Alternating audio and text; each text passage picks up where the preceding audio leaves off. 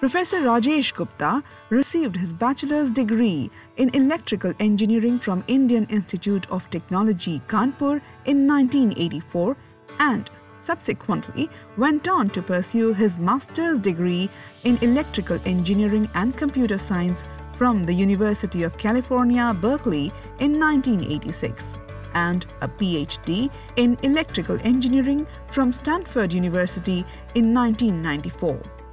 Dr. Gupta is currently a distinguished professor in the Department of Computer Science and Engineering at the University of California, San Diego.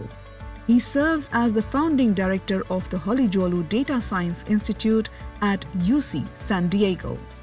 Professor Gupta's research is in embedded and cyber physical systems with a focus on sensor data organization and its use in optimization and analytics.